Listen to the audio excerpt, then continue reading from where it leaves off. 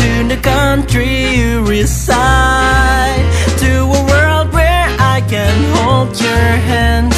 But that's my silly plan.